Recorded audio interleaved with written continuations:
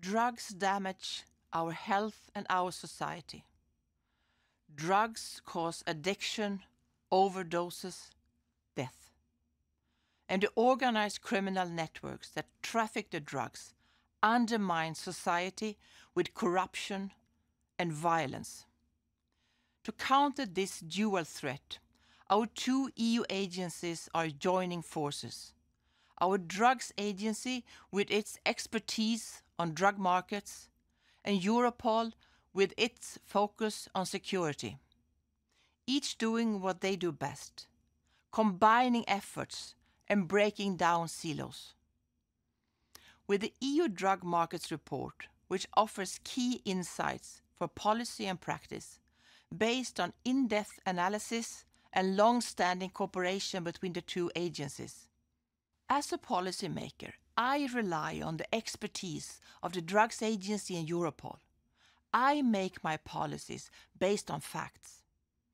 Like recently, the launch of the European Ports Alliance against drug trafficking, because it takes a network to fight a network.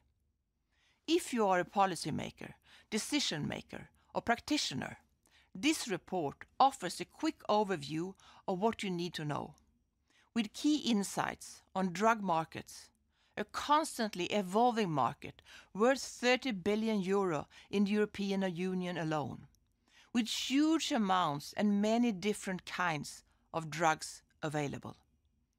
And with the key developments on individual drugs, cannabis most commonly used, cocaine increasingly used, and synthetic drugs being produced in the EU itself.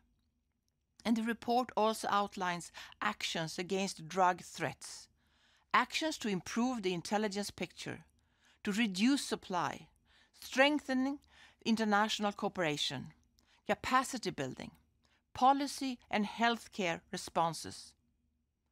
So I would like to thank Catherine De Bolle and Alexis Goosdeel personally and I thank Europol and the Drugs Agency for this report.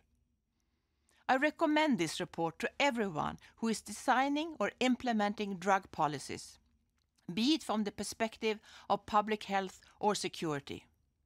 I know it will help you to make a difference.